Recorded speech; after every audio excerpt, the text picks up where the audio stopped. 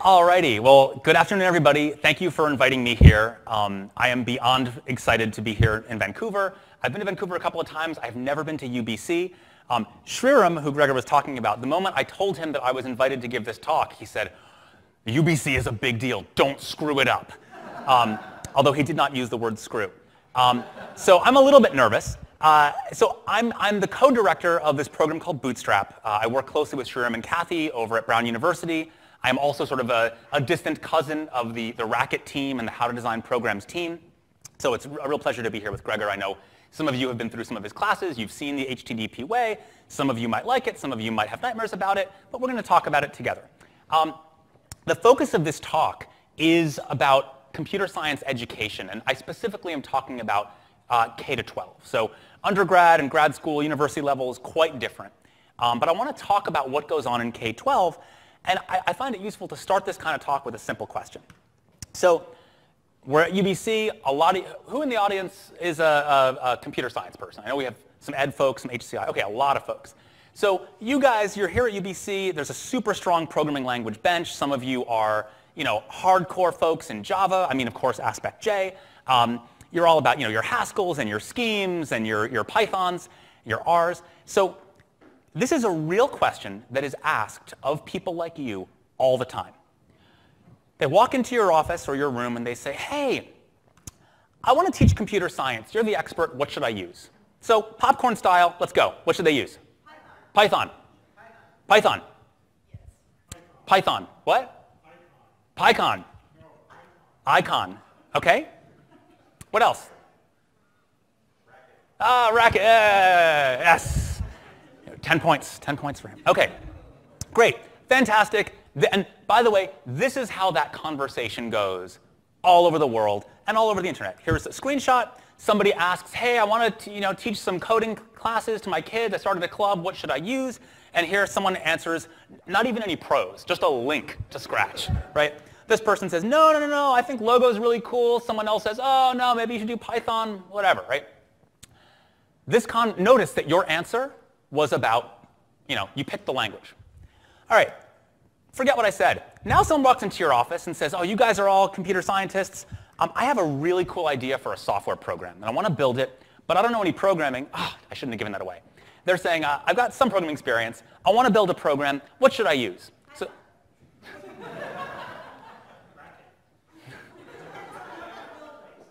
Say it again?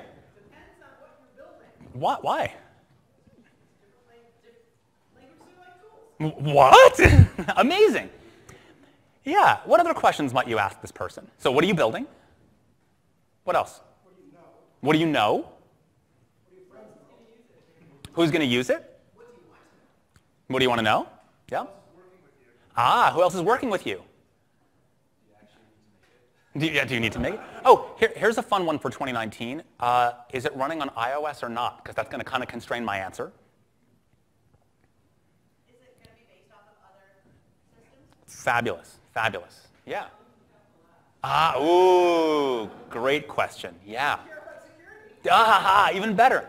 Now, I want to point something out, which is that when I gave you a question that you identify as a software engineering question, you put on your engineer's hats and started asking about constraints. What are you building? What does it run on? Right? I can't just tell you what tool to use because I don't know the constraints. But when I asked you a question that didn't sound like an engineering problem, it was no problem just spitting out Python as the definitive answer. and this is worrisome. So let's put our software engineer hats on again and think back to that teacher or that person who came into our room. What are some constraints that we might need to care about if we wanted to work in K-12? Ah, how old are the kids? Yes, what else? Yes. Good.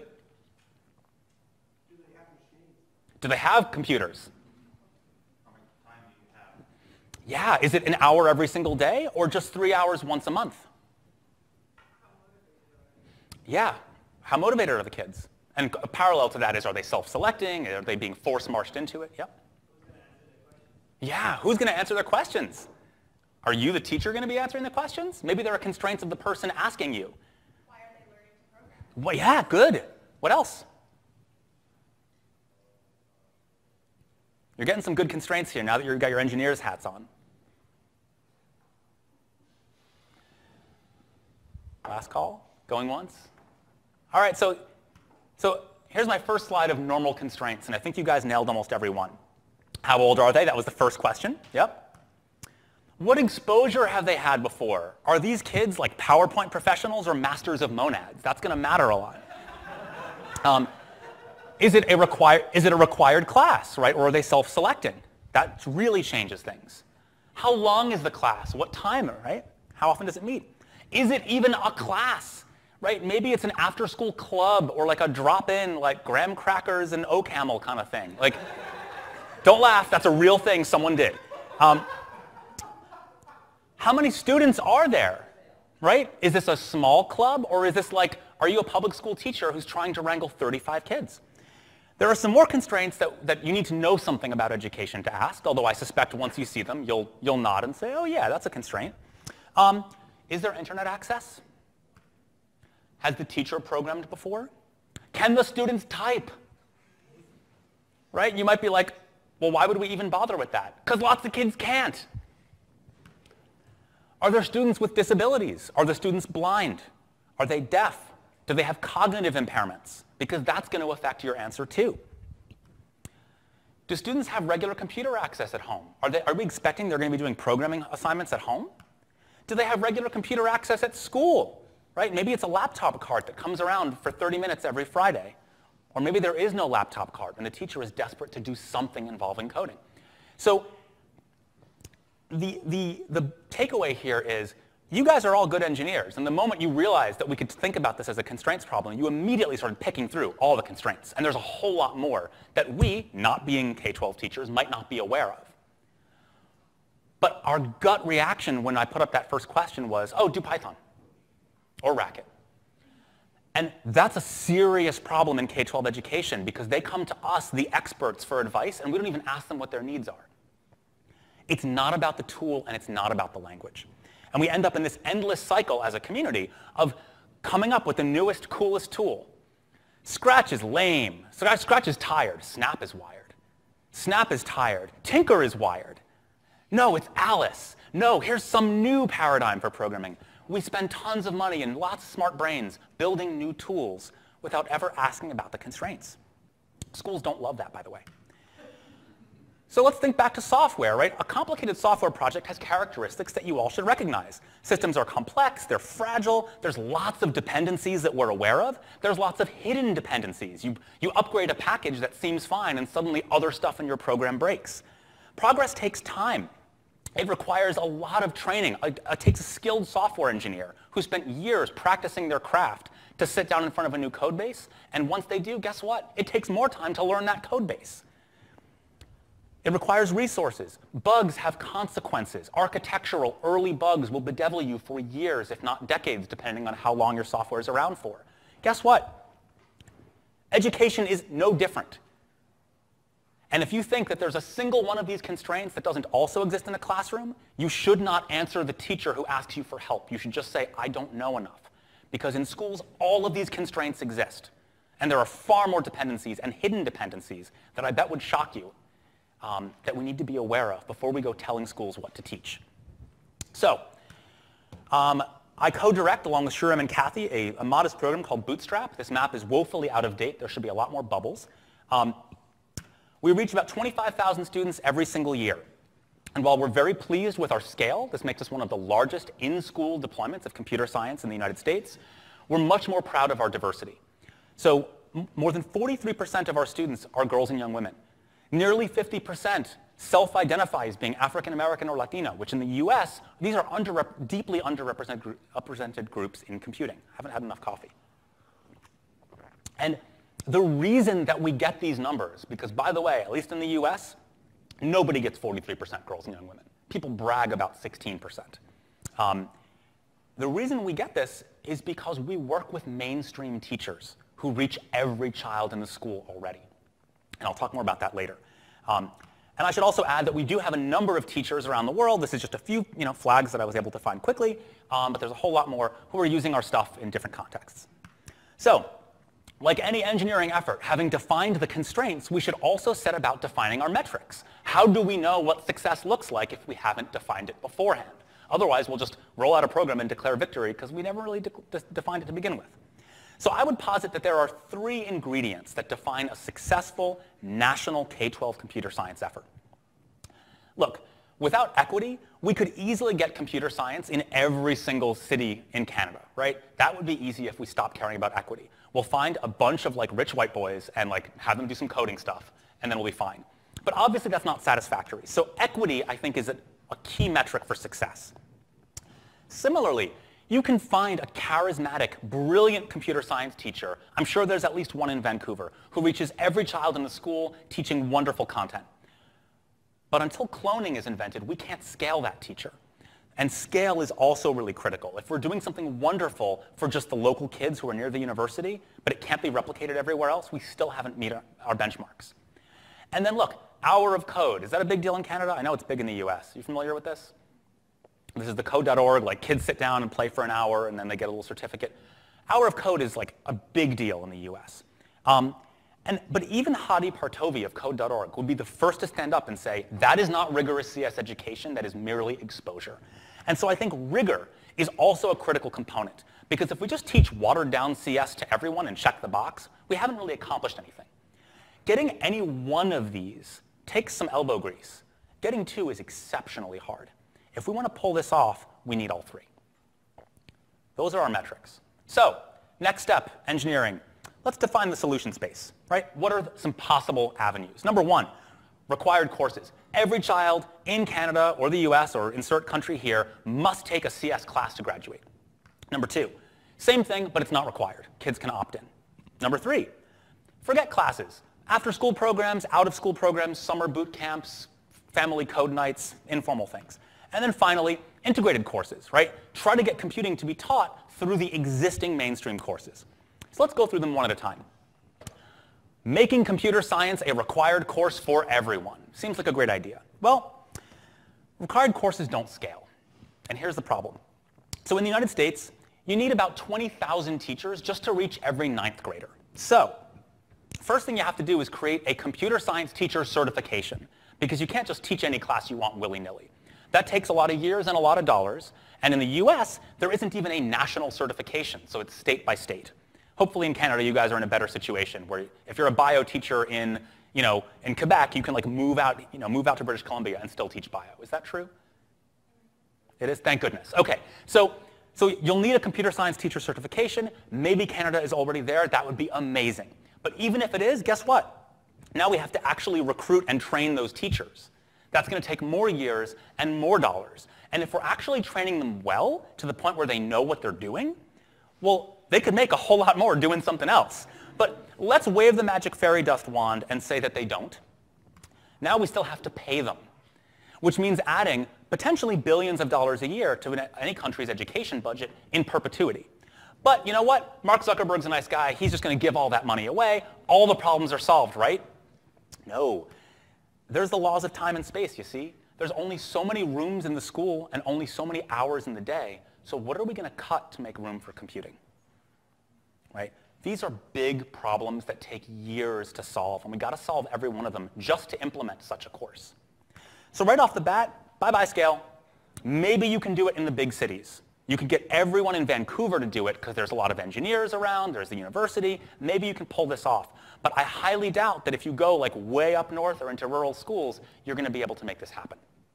So by scale. But there's something else that happens when you make computer science a requirement. There's a perverse incentive because schools don't like it if half their kids don't graduate. That's kind of bad for a school. And on a personal level, speaking as a teacher, I do not want to be the teacher who fails a kid who was about to be the first in her family to go to university because she couldn't pass my Python class. So these are structural and personal incentives to get rid of what? Rigor. Bye-bye. You know what? Let's just make it a scratch class. Everybody will be happy. No one gets their lives ruined. And that often winds up happening. So the incentive structure puts rigor at risk. But hey, everybody will take it, so you'll get equity. Mark Guzdial, if you don't know him, he is one of the luminaries in the CS education field. He has an extremely widely read blog. He's an amazing researcher. He has published a number of papers outlining the risk of required CS. There are some serious dangers in place if you put this mandate on schools without considering the needs that are, have to be met in order to carry it out. So, strategy number two, everything I just said, but it's not required. Just let the kids opt in who want to opt in. That should fix the problem, right? Well, the problem with electives is that they're not equitable. You see, first of all, the only kids who take elective computer science are the ones who chose it over and above elective everything else. So there's a selection bias issue. Maybe it's the kids who already identify as computer geeks who take this class. Everyone else takes other classes. This reinforces stereotypes about what kind of kid belongs in a coding class. Right? Kids grow up seeing, oh, look, all the hackers in movies and television, they all look like white boys. And now I went to school and it's true. So this is not a good thing. But it gets far worse because you see, Lots of schools have graduation requirements. You have to take a certain number of units of math, a certain units of science, of history or English and things like that, right? And so there's a course schedule. Um, so here is a sample contrived course schedule at an elite, privileged high school. You will notice that every student gets four years of various art classes. This is not the case at most schools. So this is like the most generous, optimal situation. Look what happens when one kid fails, let's say Algebra 1. So I've outlined the damage in orange. Right off the bat, calculus disappears, which means that that kid is no longer going to get the four units of math required to graduate. So what do they do? Well, we're going to, first of all, have them retake Algebra 1.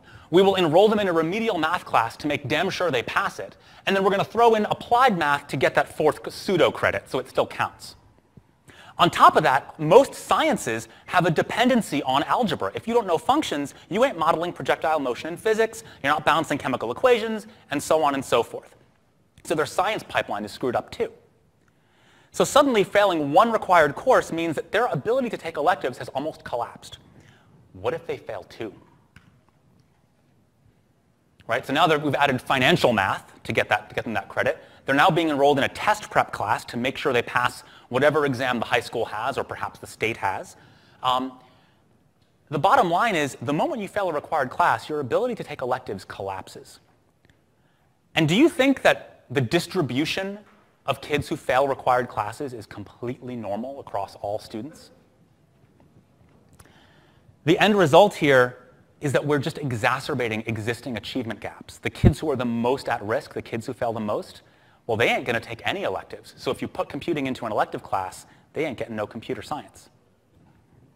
So back to our, uh, our metrics here. Well, equity has gone out the window, but there's something else that happens. Suppose you're the principal of a small school and you want to offer a CS elective. Are you really going to hire a full-time CS teacher to just teach like an elective class part-time? That's a waste of money. What are you going to do instead?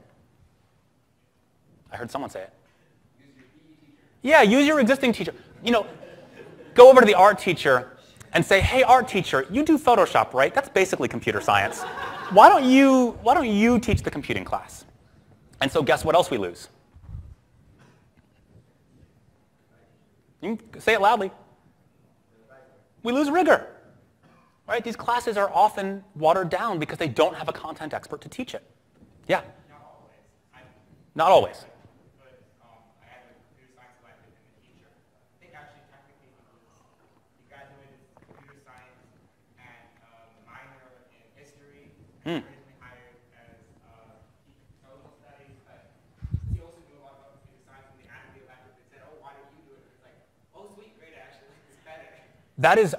a fantastic happenstance.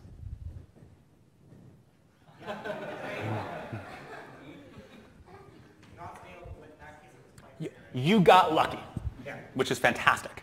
But not everyone gets so lucky. All right.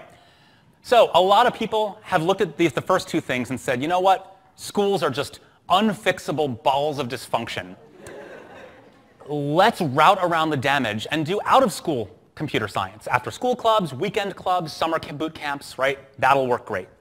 And um, I'll tell you just right now, no. Um, not to say that those aren't valuable mechanisms for exposure and enrichment. They totally are.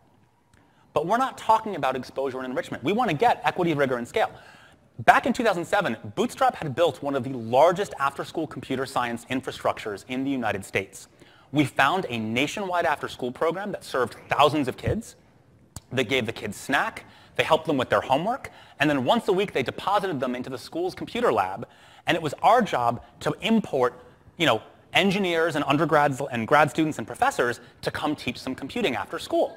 And that's what we were doing at enormous scale. And when we looked at the impact we were having, we were so embarrassed we shut the whole thing down. We just shut it down.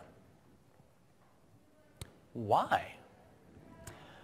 Well, the first problem is that after-school computer science competes with after-school sports and after-school theater and after-school having a job and after-school taking care of your little sister because your mom has to work. Bye, equity. The other problem is that students are exhausted after a long day of school, like genuinely exhausted.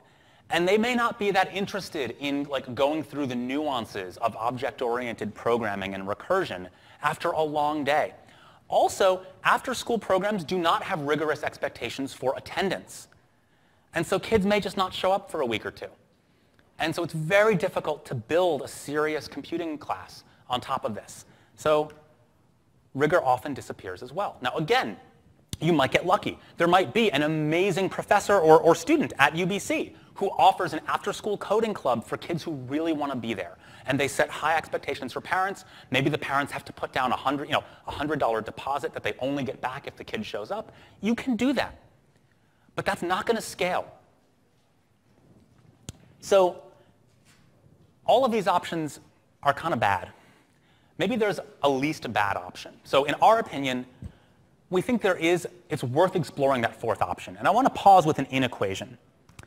Everyone should learn computing. How many of us agree with that statement? It's good for everyone to learn computing. Just a few hands. Wow, some of you are real skeptics. That's funny given how many of you said you're computer scientists. Um, lots of people agree that, that everyone should learn computing, but that does not imply that everyone should take computer science courses. So let's open our thinking a bit and look at strategy four, integrated courses. What if we could convince every history teacher to teach computing in the history class? Now, I know that sounds insane. Pause for a moment on why it's insane. Suppose we could do it. Man, that would be awesome. Look, every child takes history, so you get scale right off the bat. In fact, you're leveraging the existing infrastructure. There are already history teachers at every school. The courses are already added to the course calendar. They're already added to the course schedule, so you don't need to you know, fight with who's teaching what. It's already there. So you can get to massive scale at a fraction of the time and a fraction of the cost. So that's a good thing. And once again, every child takes history, which means you're reaching every child, not just those who self-select into the electives or after-school programs. So everyone who takes history realizes coding is just a thing that we do right? What do you mean girls can't code? I'm a girl. Lots of girls were in my history class. We all coded along with the boys. I don't understand. What's the problem? Right? So you can, you can actively combat some negative stereotypes this way. So you get equity as well. Also, if you're leveraging existing infrastructures, these have professional organizations. They have standards for content, standards for training, standards for assessment. And maybe if we design it really carefully, we can leverage those standards to ensure some degree of rigor. So, you know, free lunch, right? Of course, really, um, we've traded one set of constraints for another. Because if you want to do integration, you're going to have to convince that history teacher or that science teacher to give up X number of hours from what they were doing to go teach something that ain't their job, ain't their expertise, and God help you, if, you, if their kids do worse on the final exam that year because they spent all that time teaching computing, they're going to come after you with brass knuckles. Um, if you want to sell teachers on integration, essentially you're arguing transfer. How many of you have heard of, of computational thinking, right? Kids learn all kinds of things. If they learn computing, they'll learn biology. And Papert said it loudest. In 1960, one of the first papers on Logo, Papert said, Logo's amazing, it's got functions and variables, ergo, kids who learn Logo will transfer their understanding of functions and variables into algebra. He called it out specifically, and they will do better at algebra. And everyone sort of believed it and clicked their heels three times and said there's no place like algebra, and boom, it works. Mm. Papert was making an assumption of transfer, and everyone who tells you that computing helps teach you how to think and that's good for everything is making an assumption of transfer. Transfer is defined in the cognitive science literature as a skill learned in one context is used successfully in another. Transfer is hard.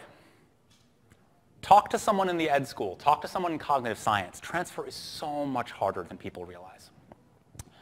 I can distill some of the literature into three requirements. First of all, it requires explicit instruction. You have to literally say, look how we solved this problem on the computer. Notice how similar it is to the mechanism we use to solve this problem in biology. That is not an accident. There is a connection between the two. You have to literally say it. Just assuming kids will be like, oh, I learned, I learned about algorithms on the computer, therefore I know about them in biology. No, that's not going to happen. Secondly, deep structural similarities between tasks super deep, deeper than you can possibly imagine. I will tell you a sad tale. Um, uh, Dave Perkins, a researcher in cognitive science, looked at a physics classroom. And there was a physics teacher who spent a week giving his kids practice problems on acceleration. And all the problems were of the form, a golf ball is dropped from a tower. A golf ball is dropped from a tall cliff. A golf ball is dropped from some great height. Let's do all these different things to compute where it is after X time, how fast it's moving after Y time, and so on. Then he gives his kids a quiz. The kids bomb a bunch of the problems on the quiz.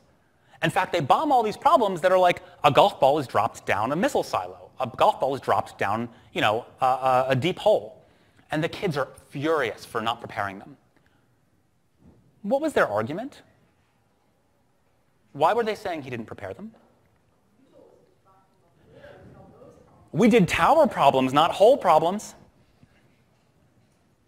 failure of transfer. And this, by the way, was not at a struggling school, not by a long shot. Novice learners should not be expected to distinguish between superficial parts of a problem, oh, it's a tower versus a hole, versus structural isomorphisms between problems. Oh, it's an acceleration problem with gravity. Right? They don't necessarily know. And so that was a failure of transfer. They did not transfer what they learned about tower problems to hole problems. Now, zoom out Teaching kids Python is totally going to help them in math. Would you take that bet? I sure wouldn't. There need to be freakishly deep structural similarities between tasks. And on top of that, there needs to be an established process for performing the tasks. Don't just give kids a bunch of programming problems, hope that they learned something and they'll apply it elsewhere. You actually need to do some metacognition and say, what mechanism did we employ to solve this problem? Let's describe it in the abstract. Let's then describe it in this other domain, and we're teaching the task. Yeah? If you really believe that, uh, do you doubt that we should be teaching some of this stuff at all? I mean, if, it, if students can't transfer you know, tower problems to hole problems, is there any point teaching them tower problems?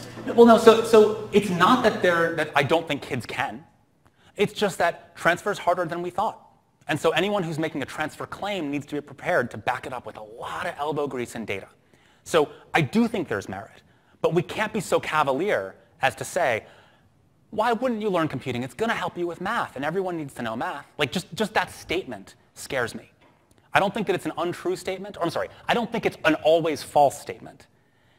But we need to be so much more humble when we make claims like that especially if we're talking to teachers and if we're talking to teachers in schools that are not elite.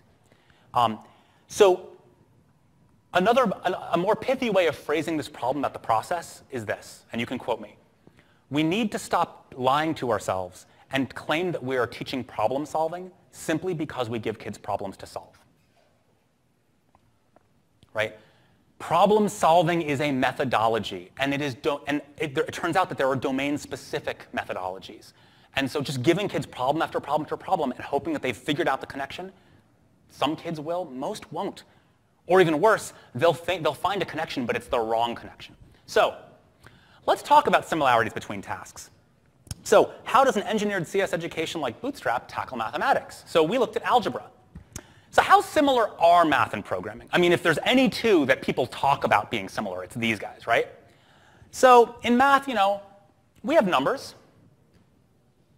Does programming have numbers? Oh, good, you're, you're not sure. Good. well, let's take Java, right? Everyone knows that in Java, 1 divided by 2 is?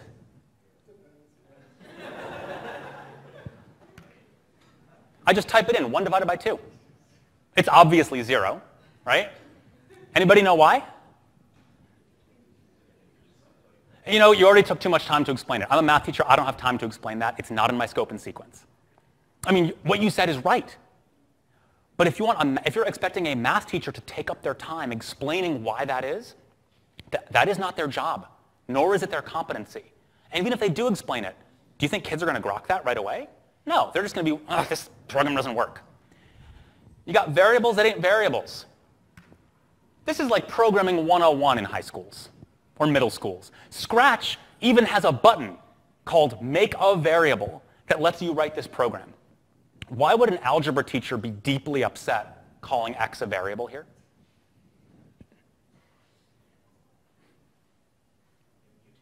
It mutates.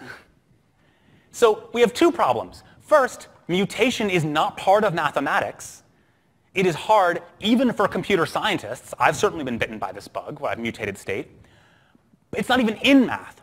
The second problem is that's a semantic problem. The second problem is a syntax problem. That sure looks like we've proven that 0 equals 1. So I wish to God that we were, we'd stop calling these things variables, because man, the math folks had it first. Um, and of course, you got functions that aren't functions, right? How many functions do we know of in computer science that return nothing? Or that mutate state and return different outputs for the same input? They violate the vertical line test. If tower versus hole problems was a challenge, there's no way in heck that this is going to help kids in math, and it might actually do some damage.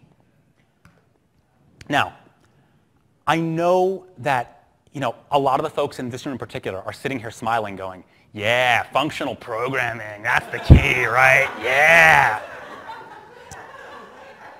And, and I'm, here, I'm here to tell you, yeah, it's part of what we need for this particular context, but it's not everything. Because in addition to teaching functional programming, you also need to make sure that you're actually doing math problems with that programming language right? You can write a, a, whole compiler, right? And then maybe at some part in the compiler, you needed to compute the Levenshtein distance to make sure that like a mistyped variable, it gave you like a good recommendation. Did you mean to type that variable? And like typing the Levenshtein distance required you to use some algebraic formula. Did you teach math? No. Doing math on the computer is not the same as teaching math. So yes, use the right language that, is, that supports the semantics of the target discipline, but then do stuff with it that any teacher in that discipline identifies as authentic. They can say, yeah, I do that in my class already. Cool, I just have to type it in instead of writing on the board. I'm with you. The third thing you need to do is have a process, a pedagogy for how you solve your problems that maps to the pedagogy and best practices of that discipline. So I'll give you the example that we use for math. So in Bootstrap Algebra, that's the name of our math curriculum, guess what? We use pencil and paper workbooks. We have discovered something that every teacher knows. Sometimes the best place to get real thinking done is not in front of the screen. And so here's a word problem. Write a function called update target, which takes in the target's x coordinate and produces the next x, which is 50 pixels to the right. Now, I could find and replace certain words. This is a very trivial linear function word problem. Now, we ask students to write the contract. For those of you, you, guys call it contracts, HTDPers, yes? Okay, so we, we have students write the contract. They have to write the name of the function, the type of its inputs, the type of its outputs. Then they have to write a purpose statement, right? They're commenting their code. Then they have to write examples of specific concrete inputs. So here we go. Then we have to identify what changes between these examples, and then we generalize to the formal function definition. Standard HTDP stuff. This is the explicit process that we teach. If I said exactly the same thing but I swapped out the words, a math teacher would hear the following. When you give kids a word problem, oh, sorry, uh, computer science, type specification, test cases, code, right? Math teacher would hear, having students think through the domain and range of a function, having students restate the problem in their own words, writing input-output tables, for specific inputs and how they're computed, asking themselves what's the rule, what's the pattern, and then specifying the function in a symbolic form. This is considered best practices in mathematics. So simply changing the words might be enough for a math teacher to say, oh, that's something I already do. Cool, this isn't so foreign to me. And it's not just smoke and mirrors where we're trying to convince them. Remember, we want the students to also recognize that it is the same task applied to both contexts. So, multiple representations of code, multiple representations of function, kids totally get this. And so in Bootstrap Algebra, as in any respectably rigorous uh, programming construct, we have students build systems. So in this case, we have students build a very simple video game, but it's not like, do whatever game you want. No, no, it's a very carefully structured game. In fact, all kids wind up making games that look very similar, although the kids don't seem to think so. And the process of creating this game requires them to go deep into coordinate planes, order of operation, ratio and proportion, and then hardcore into word problems. Almost the entire curriculum is word problems on word problems on word problems for linear functions, quadratic functions, piecewise functions. And every time they do a programming exercise, they are solving a word problem. And then the teacher can pull out a word problem from the math book and show students how to solve it using the exact same steps that are named the same thing. And the programming language reinforces instead of undermines the math in the book. And at the end, kids get up and talk about what they did. We do code reviews. Math teachers call it explaining your work. And by the way, we actually have some success. So this is the most important thing. We give kids pre and post tests. Guess how much programming is on them? None. Because who cares? We take word problems borrowed from standard algebra tests. And what we've shown is that there is a statistically significant gain pre to post so a math teacher who doesn't give a crumb about computer science can view this as a math intervention. And so can a school, and so can a school district. So, summarizing what we've got so far, we have sort of a dependency graph if you want to do integrated computing. You got to pick the right tool, you got to design a curriculum, and you got to think through your pedagogy. Your pedagogy cannot be teach kids how to use Python and then just let them go nuts. That is not a pedagogy. That's not a thing kids can teacher kids and teachers can strip onto. Yeah. Yeah. So I have a question on your previous slide. Yeah. And first of all, thanks for the papers. I'm Mark Greenstreet, who's the oh, yeah. right advisor yeah. and, and Gail's administrator. Yeah. So we went over one of your we went over a pair of your papers in other seminar teams. Yeah. And one of the questions that the students were asking, much of them are here in this room right now, mm-hmm. was, okay, so you, you do this pretest. Yep. You go through your boot camp program. Yep. And you do the post test. Yep. Now, what would happen if, instead of bothering with any of this stuff, what if I just tried to teach them traditional math curriculum and just reinforce their exercises? Yep. So we also, we also have a control group. What's that? We also had a control group. Okay. And so what we found in the 2013 paper is that the students who had math with Bootstrap outperformed the control group by a significant margin. Yeah. Um, so, tool, curriculum, pedagogy. If there's only one thing you take away from this talk, it's that you need all three, and you need all three to be carefully tweaked to support the host discipline. So, if you want math, what is, and by the way, there's a, dependent, there's a dependency relationship between each of these. The tool you choose shapes your pedagogy. If your pedagogy involves kids writing worked examples and programming them into the computer, guess what? Java is a bad tool because eighth graders are not going to use JUnit to write their tests. And if you use Scratch, there is no testing functionality. So that affects your pedagogy. And I'm not saying Java's bad or Scratch is bad. Just choose these things conscientiously. So for math, at the tool level, functional programming I think is key. Right? It's, it's necessary but not sufficient. Easy unit tests make it possible for teachers to do worked examples. Make important data first class. Everyone has first class numbers. Lots of teachers do ratio and proportion and geometry and coordinate planes. First class images are such a game changer for this. If kids have to write images to a buffer, render that buffer, and then check it out, like that's five steps that they don't need to be taking. At the curricular level, a curriculum is not a list of activities. I know this is like weird for the CS folks, but for the ed folks, you know this. A curriculum involves lesson plans, standards alignment, homework assignments, assessments, rubrics. It involves, in some cases, do nows. What should the student do the moment they walk in that room that day? Or exit slips. What do they need to do before the class is over, right? And, and these constraints differ depending on where you're teaching. So you need to be ready for that. If you hand a list of fun activities and a nifty tool, you haven't given them anything usable. And once again, the curriculum needs to be aligned to the host discipline. So if it's math, it better look like a math curriculum.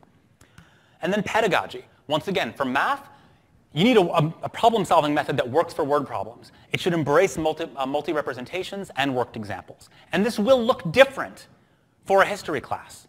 It should. Otherwise, that's a suggestion you may not have done your homework. So, rinse and repeat. We also have created a curriculum called Bootstrap Data Science. We're really excited about this. This has been part of my life for the last few years. So really quickly, just to see how this formula plays out in a different context. One way to think about data science is sort of a three-ring circus that involves computer science, some element of statistics, and then some domain knowledge, right? I can be a statistician who knows R, but if I don't know anything about baseball, it's not useful to, to have me analyzing baseball data sets, right? There's some ridiculous outlier. I don't know if that outlier is noise that should be eliminated or if it's a really important outlier. I have to know the domain. So what might this look like in K-12? Well, the computer science does not have to be heavyweight. You can do a lot of simple data science using lightweight programming. You can teach school-relevant math. There's a lot of statistics in the standards for schools. Find out what that is, make sure your data science curriculum teaches it, and then assess it and make sure it does. And what about the domain knowledge? What subject in high school or middle school does data science belong in? I, I list them out. What do you got? What do you got? History, biology. Yeah, there's tons of broad applications. You open a history textbook, and guess what you see every 10th page? Charts, graphs, and tables. Right? You still, you want, in, in, in the United States, American history, we talk about immigration waves in the early 1900s, and there's tons of charts there. And a common pedagogy for history teachers is, what do the charts tell you? Can you interpret them? Can you make an inference and turn the inference into a prediction? And now let's talk about modern history. Immigration is kind of a hot topic over in the States. Let's, let's write a paper explaining why we think it's good or bad, referencing the data we saw in the book. Well, example two. How might an engineered computer science education program tackle history? Well, history books have all these things.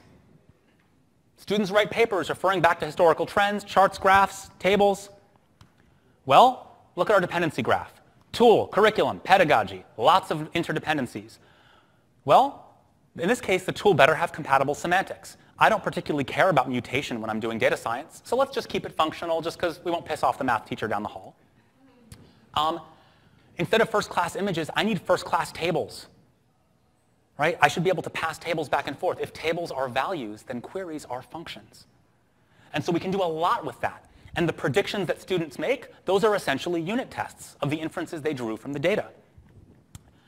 I write a curriculum, use the same data from the book, align to the history standards, have students actually write a research paper. Only in this case, now I can say, look, it's no worse than looking at the table in the book. Right? If worst, case, worst comes to worst, just click run, there's the table. Turn to page 67, there's the table. We haven't done any harm. But now we can say this table is live. You might have a student who's got a lot of family from Ireland. I'm showing my, my background in teaching in Boston. Well, that student might say, I want to see a table just for Irish kids, just for Irish immigrants. That's what I care about. Great, you can do that. A lot harder to do that in, the, in a, a static history page. So now you give kids a chance to dig into the data a little deeper, to make different kinds of inferences. You give students a chance to turn that table. One kid likes pie charts, one kid likes histograms. Well, those show you very different things about this data. Let's have the kids talk about it. History teachers already do graph interpretation. That is part of what they do. Now you can do it live. And if the coding is lightweight enough, then maybe, just maybe, the added engagement and the deeper analysis that students are doing, because now swap out the 1900s data set, load in the 2000s data set. Now they're actually getting more rigorous inferences and testing their hypotheses and writing a more rigorous paper. If you can do that, the teacher might be willing to give you five or six hours to teach whatever minimal coding you need, if you can prove they actually learn the history better. So, yeah, it's not just history. We're finding applications for data science in the sciences. Right? They do this all the time in the sciences. Business teachers have been using spreadsheets to analyze data for decades. A little lightweight coding might, that, might make that even better. In fact, we have an up and running data science curriculum. We've partnered with the KIPP Charter School Network in New York City to develop a grade 5 data science program. Each week there's a new module involving some mystery thing, right? An archaeological dig of Mayan ruins found different skulls and different clay pots. What does the data tell us about the Mayans? Kids look at the data, they make hypotheses, they draw displays of the data, and then you can analyze the data. So this is a real thing that is happening. So that's Bootstrap Data Science. Applications to stats, business, social studies, science classes, and computer science. And you better believe we are not thinking of this as a one-size-fits-all. We are in the process of digging through different standards for different subject areas. So if we're doing data science for history teachers, we're going to make damn sure that it looks like a history class. And that is not the same training we're going to do for the biology teachers. It cannot just be, come learn my cool thing. Oh, you're the, you're the expert in history, you figure it out. That's not fair. Yeah? So you talk a lot about teaching the standards, but if you have standards, so how are you dealing with that? So the standards are not as far apart as one might think. They use different wording. I mean, there, there's a mapping problem. And in fact, tell you what, as I'm looking at the clock, will you ask the exact same question as soon as I switch to Q&A? Because I have a, a, detailed answer I think you'll enjoy. Um, so we also have a physics course and a hardcore CS course. The first three are all introductory. They assume no prior knowledge. Reactive says, well, let's transfer what you learned in these different domains and pull it into a CS class and see where you go. We have seventh graders who've done bootstrap algebra who in eighth grade, for those of you who know HTDP, are doing world, Big Bang world programming with, with like sophisticated data structures because they're just transferring what they learned in the math class. I'm not here to tell you that standalone CS classes are a bad idea. They are, they're a great idea. But I think it's a shame that, stand, that standalone CS classes cannot assume any prior knowledge and must all begin with, what is a program? That sucks. Wouldn't it be cool if you had an integrated pathway where every kid in the school sees computing in context in their math classes, their history classes, their physics classes, their science classes, their business classes. They all do it together, so we're getting equity. We're using the teachers that are already in the building and already have their salaries covered. We're getting scale. And we can do it in a rigorous way that makes sure that we're respecting the standards that those teachers need to apply for. Then, the kids who want to self-select into a standalone CS class, imagine where that class could take them if on the way in, they already knew how to write unit tests, how to comment their code, how to write a type specification, how to do some simple analysis. Right? Like those classes could be so much more than they are. So we're not out to get them. We're out to give them a leg up. Um, so, you know, I'm here to tell you, CS education needs to be considered as an engineering problem. There are so many constraints if you want to play in the K-12 space, find out what they are. Sit in on a school day. Shadow a teacher for a day and then shadow a principal the next day. Because there's classroom challenges and there's administrative headaches. And if you haven't thought through all of them, they are going to bite you. Just like not looking at a good spec before you start making a piece of software. At Bootstrap, we've built one of the largest and most diverse CS education programs in the United States at a fraction of the cost and with a team of eight people, only three of us are even full-time. So when you want to talk about scale and impact per dollar, we do pretty darn well. And it's because we're slowing it down. We're thinking really hard about what the constraints are. So when we roll something out, we've respected the engineering constraints and the, the friction pathway is far less. As computer scientists, we need to be humble. We are not bringing the tablets down from the mount and giving them to schools and saying, you're welcome, and then walking away. We need to find out what their needs are. Think about what of our stuff can help them. And surprise, it may not be your favorite part of computer science. PL folks in the room, math teachers don't care. um, find out what their needs are and then serve those needs and do it in a way that looks, acts, smells, and tastes like what they already do. And then go get your data. Don't start without a metric. Your job is to teach biology better or history better. And if you can't do that, then you're just asking teachers to, to give up time to teach something that you think is cool. It's hard work, but it is totally doable. And I'm standing here as one of only three full-time employees for a 25,000 student nationwide program that reaches kids in both some of the most elite schools in the US and some of the most struggling schools in the US. And none of this would have been possible without having a sense for what the structure is that we're trying to teach. Big shout out to HTDP for helping us define that structure. This would not have worked if it wasn't for them. And then thinking about how to adapt that structure to different contexts. We can do this. Let's do this. Talk over.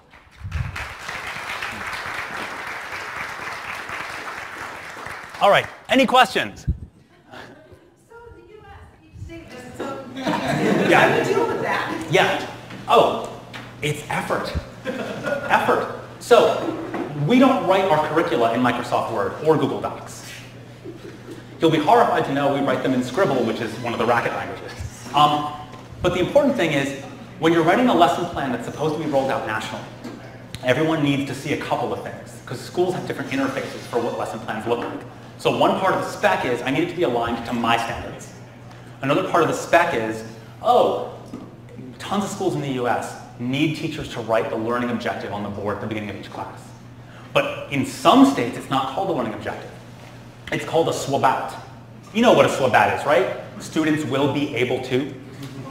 Um, so they have their own terminology. And, you know, some schools require a do now or an exit slip or they, they call it something else. I mean, so what you have is a core piece of content that you've carefully defined the interface for. It's a data structure. And you have all of these other interfaces you want to plug into. If you've done your engineering, you just have to write adapters. You write maps.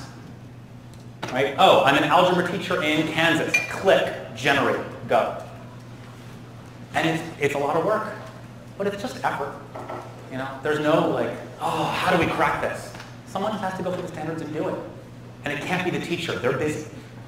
So we do it.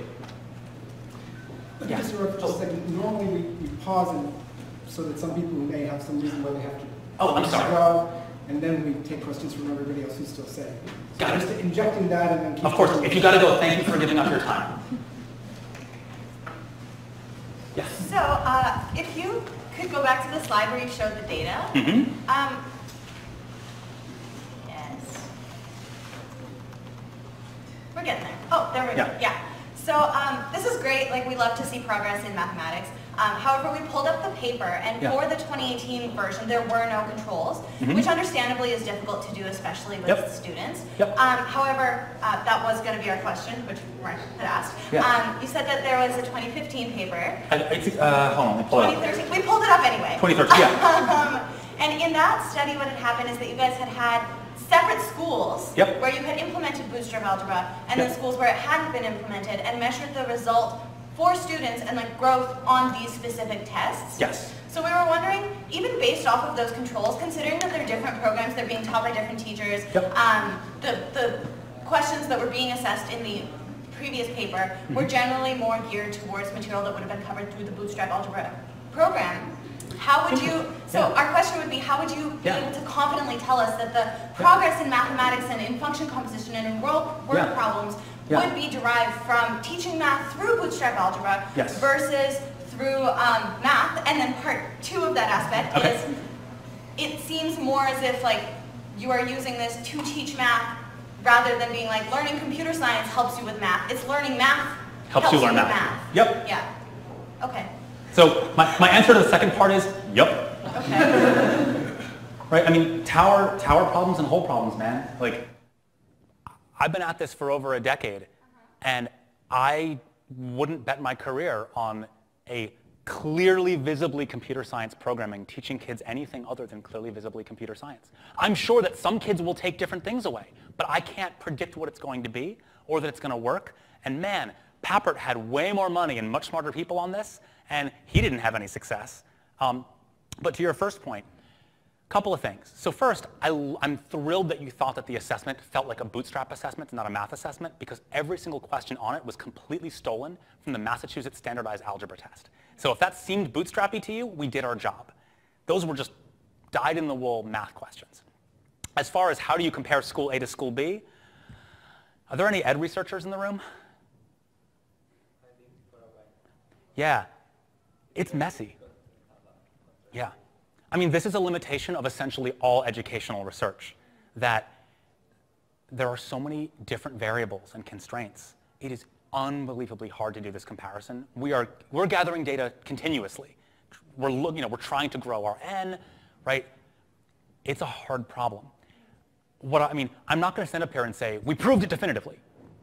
What I will say is, within the limits of what educational research can do, right, we are at that that end point. More data will help, but yeah.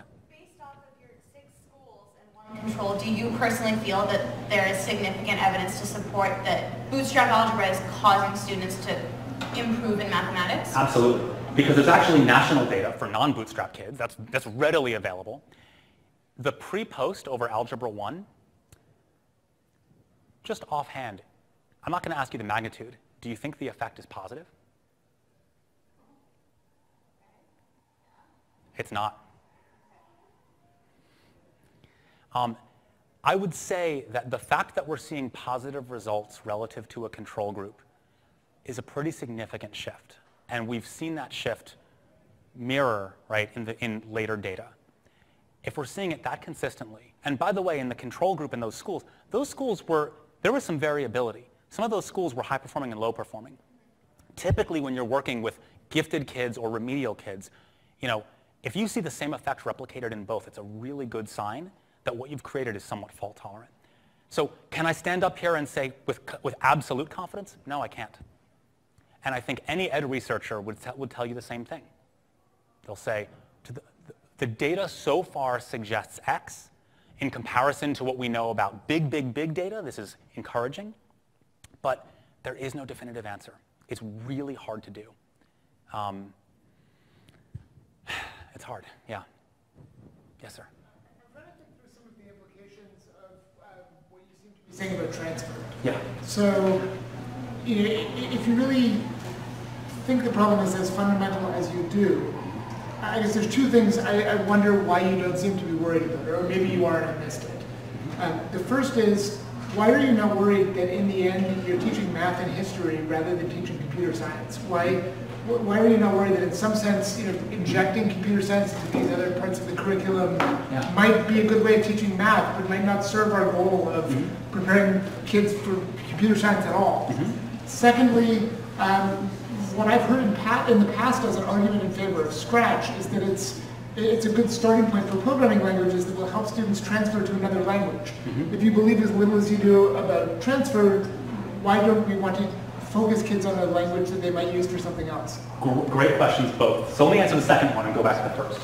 Um, uh, there's a researcher named Andreas Stefik who's really interesting. Um, he does a ton of statistical analysis of programming at the undergraduate level. And what he's found is that the evidence of transfer between languages is minimal, right? Like, does like learning Java for the first time versus learning Java after learning Python? How much better is it for people at learning Java if they've already been through Python? Not better, turns out. Um, so I think I think transfer between languages is sort of a specious thing. Like there's no data that suggests that it happens well or happens at all. So I don't have any argument that Scratch like is will help kids learn Python better. I think getting back to the novice versus expert learner thing, if novices get hung up on tower problems versus whole problems, you better believe they're going to be hung up on the fact that these are pretty colored blocks and that's text. And there's a huge difference between them. Not to mention the fact that Scratch bends over backwards to prevent kids from making mistakes. But making mistakes and dealing with parse and syntax errors is a huge part of the mundane act of programming. And those kids now have an expectation of success that falls apart. So I'm not sitting here saying don't teach Scratch. I think Scratch is a phenomenal tool for doing what it's designed to do. But I don't see the data to support the argument that if, we, if they learn Scratch first, they'll be better at JavaScript than if they learn, say, first.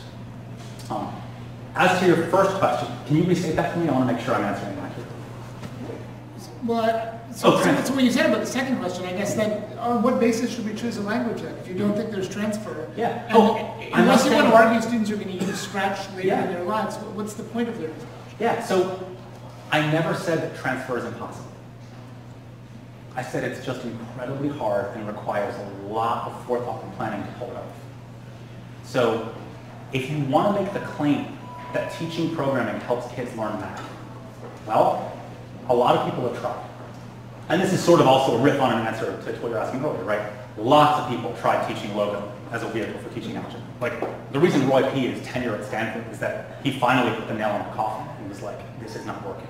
Um, if you want to, if you want to do it right, turns out getting the language right is only one part of the equation. You also have to make sure that the activities kids are doing look like math, that the pedagogy, the explicit problem solving you're teaching looks like math. And then you've got a chance. I guess the first question was, you know, at that point, maybe do you have to worry that you're teaching math, but you're not teaching anything about computer science anymore? I'm not worried about that. I mean, honestly, like, look, I, I mean, I'm curious for the CS faculty here, how much computer science are kids learning from Scratch, in your opinions? Fundamental understanding is still learned. You understand flow control. That's super important for incoming computer science in any field. Okay, do you feel that a student who comes in having taken a Scratch class is going to be much better at the Python class than a student who never had any? I feel like not necessarily much better, but they would have fundamental advantage over students who have never touched any form of computer science integration in their life mm-hmm. in understanding basic premises of computer science, logic and flow. So that may be true. There may be data out there that support this. There really might. I'm not saying that there isn't. I think what I'm saying is transfer is such a hard problem. I would rather optimize for that because that, that's what gets computing into math classes. And look, what programming are they learning in Bootstrap Data types, flow control, functions, variables, function composition, unit testing, proper commenting of code. You know, I'll take it. They're not, they're not learning binary, they're not learning data structures, they're not learning algorithms. They're just not. But you know, maybe we can get some of that in our data science class where they do iteration. So, and again, this, this, you're 100% right that like, as computer scientists, this is a little bit of abandoning some of our goals because we're being humble and saying, well, what computer science is necessary to teach subjects X, Y, and Z? And if it doesn't fit, we're going to drop it. Maybe that belongs in the standalone I'm, I'm sympathetic to your point, very much so. Um, I see your hand, but since this gentleman hasn't asked a question, I'm going to go with him first, and then Uh, yeah, taking into account the practical considerations is definitely super important. Is there a shining light on the hill of, you know, eventually if you were to say, I could stick this in schools and they would adopt it as we've adopted math classes over, you know, 100 years or whatever? Yeah. Um, is there a shining light for how you would like to see it integrated into the programs? Uh, for, for computer science being integrated into subjects? Absolutely.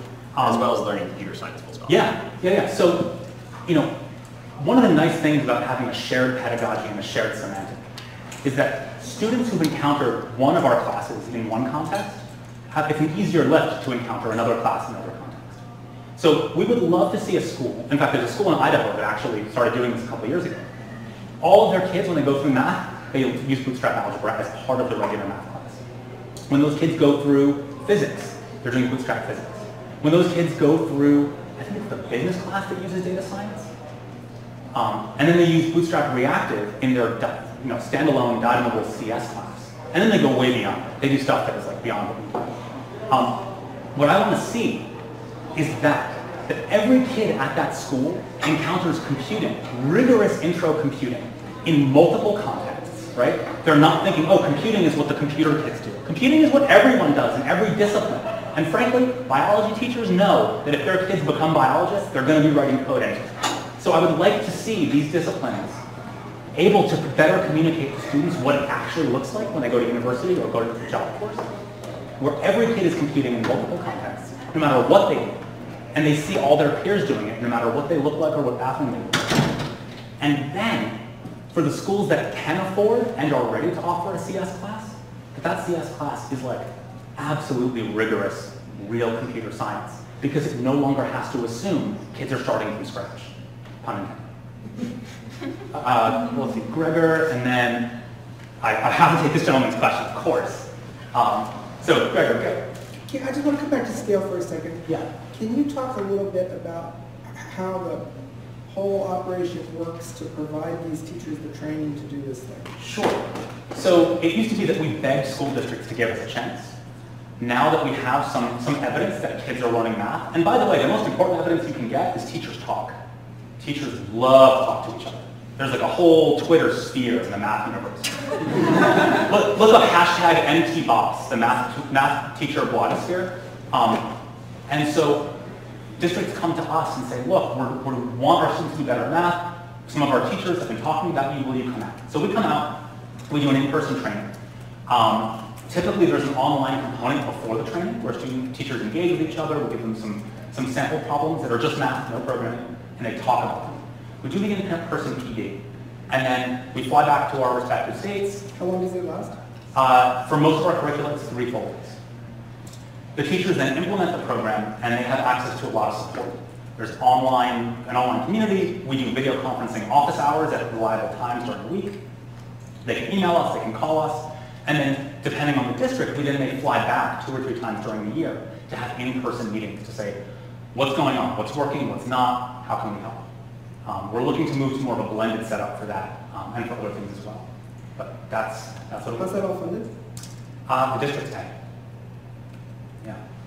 And that's the thing, we're not looking for like tech company, I mean, if you're a tech company watching at home, we are looking for funding. Um, but, but I think that this is important, right? And this sort of speaks to if you're selling schools something that they don't see the value in immediately, right?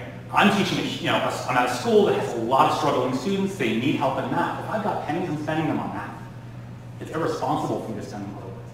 So the fact that so many CS Ed programs need external funding, not just to start, but to keep going, suggests that there's, the values are missing.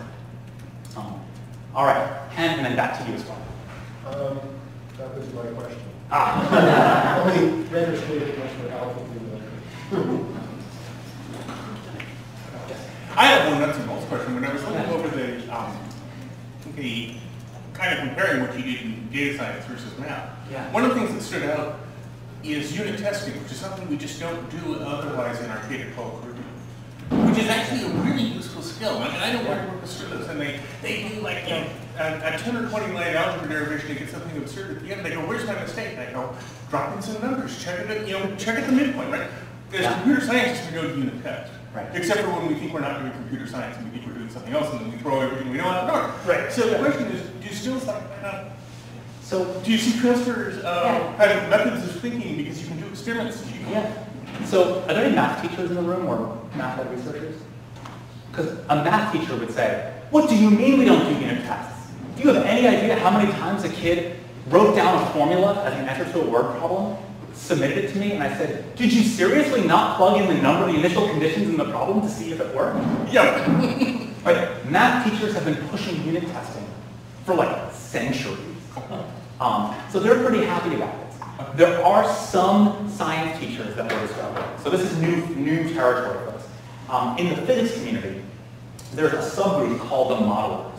And the modelers are sort of like the HTDP of the physics group. They're, they have a reputation for being very zealous about what they do. Um, but they're onto something, much like HTDP. Um, so their pedagogy is have the students observe a physical system.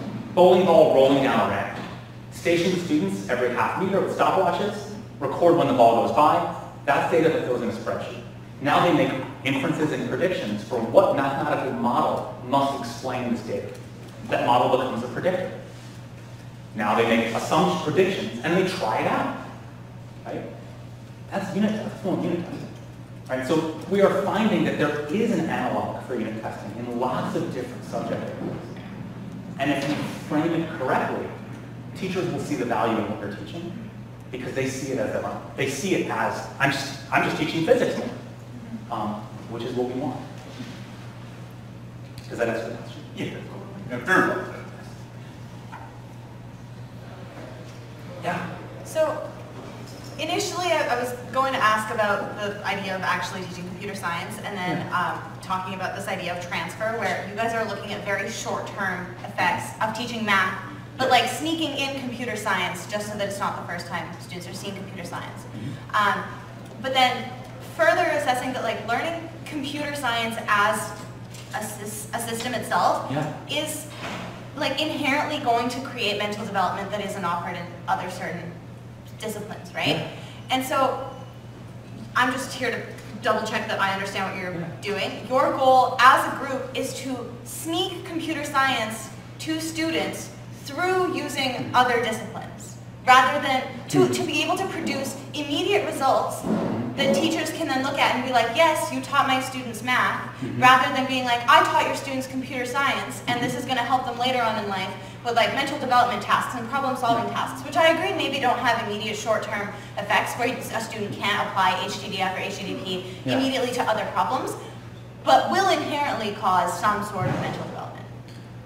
I mean, two things. One is, I'm not sure I would characterize it as sneaky.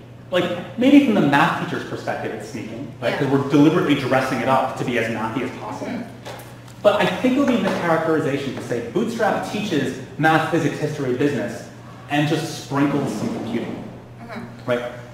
For us, it's the rigor that's good. Okay. The rigor is how you get transfer because there's an actual methodology and an actual structure, and there is some real CS content there. Mm-hmm. So I think what we're, what we're trying to do is say, if you have a Venn diagram of real CS and real physics, The, there is some intersection. If you just teach the intersection, which one are you faking? Neither. Mm-hmm. Right? They look, it looks authentic to both groups. And that's sort of what we've done, right? We find out what that intersection is, and then we do the work, the grunt engineering infrastructure work, to make it as easy as possible for teachers in whatever this discipline was to see. Um, the second response I have is, and I'm not, I'm actually not challenging. I, I think you're right. I do think learning computer science teaches you ways of thinking that are valuable later. Can you prove it? Has anyone? And so that's what I'm saying. There, there have for sure been cases of understanding just like this is a computer science problem. Using this approach to solve other problems does function. And that inherently will just cause like a certain way of thinking that you, you have to accept. Even though I personally don't have any studies on you right now that I could show you. Wait, so why do I have to accept it? The first word you used was surely. Okay, if surely fair. there is, I'm not sure Fair I enough, have fair to. enough. Valid. I totally don't have any studies on hand right now that I could throw out to be like computer science teaches you this. Yeah. But in, in being able to teach a problem-solving methodology, right, you are inherently teaching a way to solve problems. Yes? By teaching computer science? I'm not saying computer science. You're teaching how to solve problems. We, we are teaching problem-solving Yes. methodologies, yes. Yes. And so I, I, all I'm saying is that this way of thinking Yeah. seems to be focusing immediately on short-term results through teaching computer science. Yes? No. No? Why, why do you say focused on short-term results? Well, because you guys are teaching for a school term, maybe, Yeah. um, and then assessing some quantifiable math skill at the beginning and at the end, Yeah. right? You are saying that transfer of knowledge in this case only applies to if I teach a student to solve a problem one way, Mm-hmm. can they use that to solve a different problem, right? But that only applies to a very specific subset of testable, like, Ah, school problems, right? I see. So I would say this. The fact that we are looking, the first place we looked was for transfer into the math class, Mm-hmm. is because that's the data we needed to justify our existence. Okay. Right? Not having that data is an existential moral crisis. Uh-huh. Right? We are, if we can't tell math You can't support your program to math teachers. right, if, if, if otherwise we're just lying to them, Mm-hmm. right? We're just better at selling snake oil than the next person. Yeah. Um, the fact that that is the data we looked at first, and that's the transfer we cared about most, does not mean that we don't care about other transfer, and it certainly doesn't mean that other transfer isn't happening. So if you look at the way Gregor teaches, when you look at the way HTDP works, there's no question that a kid who goes through any of our introductory classes will feel shockingly at home in one of those classes. And it's not just HTDP, right? A student who comes in knowing unit testing and having, a, and just, like you said, a sense that there is a method for solving problems. A lot of kids don't have that. A shocking number of students think that problem solving is like, you know, the sage on the mountain. They just meditated and the answer came to them. This is like a documented problem in mathematics right now, by the way. That there's this misconception that it comes to you if you're a mathematician, and if it did, I guess you're not that there is far transfer, right? I, I think you said it more eloquently than I could. If kids are learning this problem-solving methodology with an appreciation for rigor, an appreciation for if this representation didn't give me the answer, I should probably look for another representation. I should probably write unit tests. That, I think, has far-reaching implications for computer science and for other subjects. Mhm. Okay, so then, yeah, all I'm saying then is that you guys aren't saying that learning computer science helps me learn math. You're saying that learning math helps me learn math, but now I also know parts of computer science. We're, we're saying that there are elements of computer science, we're saying that there are elements of computer science that absolutely help you learn math. Okay. It feels like you want the transfer argument to only flow one way. It seems like you're, you're okay with the idea that teaching somebody something that looks only like math is going to transfer to computer science knowledge, but you feel like the opposite thing won't transfer to math. And, and I understand that it's necessary to do it a certain way to appease Yeah. math teachers and to get it into systems and Yeah. to create at least some form of computer science integration. Yeah. It's just, um, like your entire premise was that learning computer science teaches you math, or is like better, a certain way, right? yeah. Yeah. Whereas I'm disagreeing with you in that I'm saying you are teaching students math, and you are on the side, or at least through computer science teaching them math. So at Mhm. least at the end they have computer science knowledge. Yes. But I disagree with your initial premise that teaching students computer science is causing your math results. So I hear a couple of different things. Yes. One thing I hear is, wait a second, your transfer argument's only working one way. I'm saying this. If you want to get computer science into a mainstream subject, there is an immediate existential requirement that you need to have Obviously, yes. predictable transfer. Mm-hmm. Could there be other forms of transfer? There certainly could be. But transfer is notoriously unpredictable, and I'm not going to stand here and make claims about what, what computing kids will learn as a result years down the road, or what any other. So I'm not, I'm not making a one-way claim.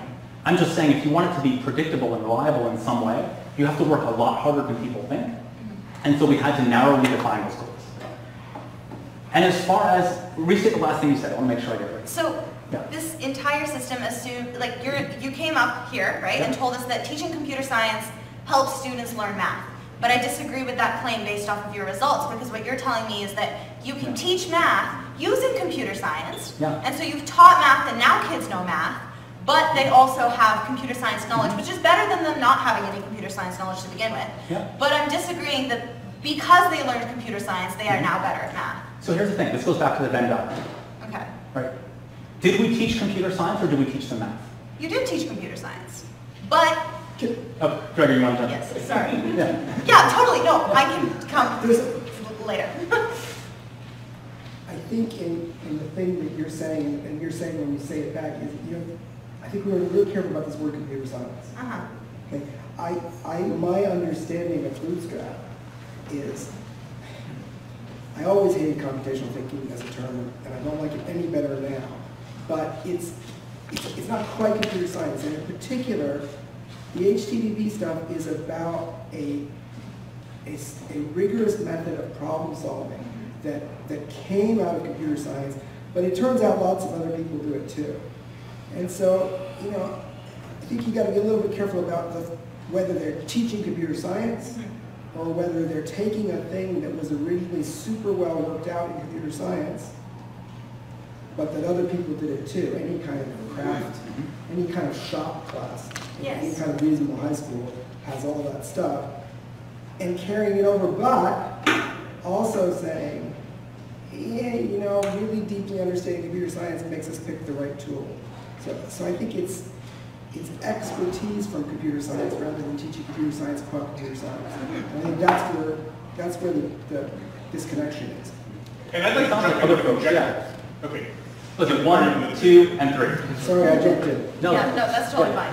I'd like to jump in with a conjecture on that too, which is that oh, my It is a guess is that if you had, if students had bootstrap math, bootstrap data science, maybe bootstrap physics, and then perhaps theoretically, if we then kind of make the next step in the curriculum that you have to computer science elective, I bet you could teach a vastly better computer science course than the typical high school computer science elective. Because, you know, the, well, the students The bar is not very high. computer science.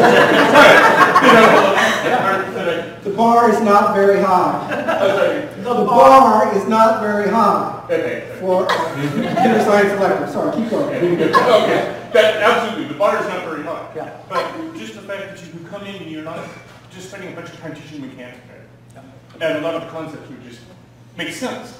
Agreed. Yeah. Yeah, so the question is, um, so you say when you develop these curriculums, you also look at sort of, uh, like, uh, C, you look at what CS concepts are introduced, right? So have you tried to like look at how, you know, comparing people learn these CS concepts through um, bootstrap algebra versus they just learn it in a straight up sort of Mm. other ways? Because, Right. well, but- and totally we think that if you learn something in applications, you sort of get it better, but we- like, Yeah. have you got any evidence or? We have, we haven't assessed it yet. Yeah. It's, it is, it is, it's on our list. But educational research is really freaking hard. Gathering, gathering data from 13-year-olds is hard. Um, it's just- Facebook. Um, yeah, I mean, so, so I mean, we're, we're working on it. But you know, I think our position is that when you look at a lot of the computing classes that are currently being rolled out in K-12, a lot of them, for, for good reason, are also fairly thin on the CS end, just because of all the constraints that we talked about. And so our main concern is like, are we teaching more CS than them?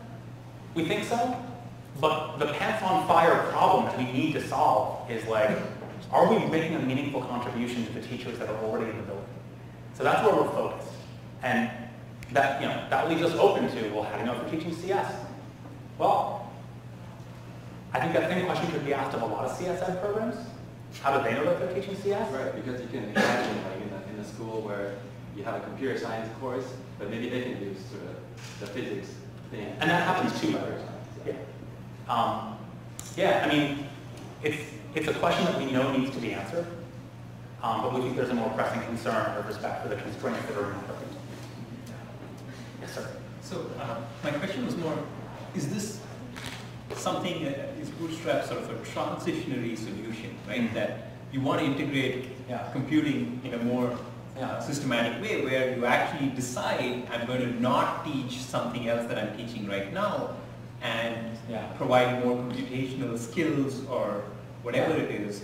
Uh, for example, you know, a lot of stuff that is taught in a math class might Yeah. simply be shortcuts because you didn't want to compute it Right. because it was Right. hard to compute. So if I could define an integral as a limit of a summation, but now I just do this by computer and not worry about doing it in abstraction, maybe this is much easier for people to understand, right? So, so in that, if I think of it in those in that sense, what is the pathway to sort of getting computing more Yeah. firmly embedded? So, I honestly, if someone, if you were to ask me, hey, Emmanuel, do you think computer science will become a core subject akin to math and history? I would say, gosh, I don't know. I actually wouldn't bet. But maybe it will.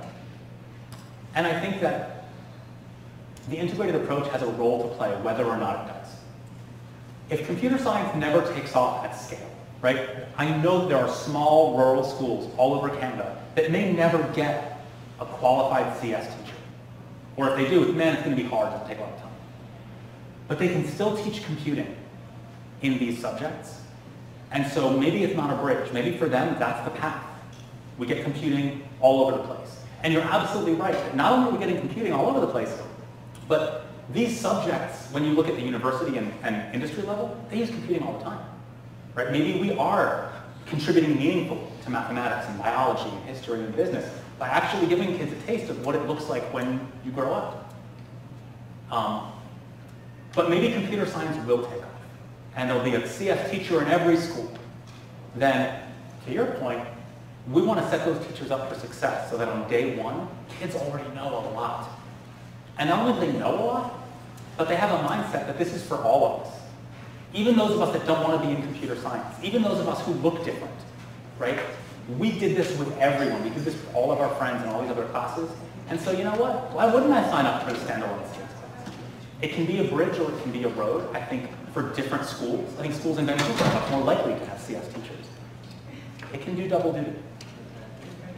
We got time for one more short question and short answer. Who is next? Anyone who hasn't asked a question? Uh, yeah. I have one question, but it's kind of taking the shifting the topic towards the future. Yeah. So while we're talking about all these like short-term effects, and at some point you kind of touch like, and a student that does this kind of bootstrap, let's say take like Gregor's 110, they will like feel at home. Um, so of course this is super anecdotal, but like I come from a super Turkish background, no ComSci. Um, in my 11th grade, I took the intro to Java through like the Harvard Summer School, which is not really the equivalent, but like whatever. Yeah. And then when I took 110, I was like, oh, okay, uh, I actually have to unlearn lots of things because this one summer course, I just got to learn lots of hacky ways to like get stuff to work. And I, in Yeah. 110, I was like, no, no, this has to be this way. Yeah. And I was wondering, like, while you're doing this, um, teaching math through math, or like teaching anything through that, with sprinkles of computer science, um, that I'm not gonna, of course, get into, we had to have a discussion. Um, did we ever, are you ever planning to track these students who might be now, like the alumni might be entering university level, Yeah. how they're doing in ComSci courses, or whether they, Yeah. any chance?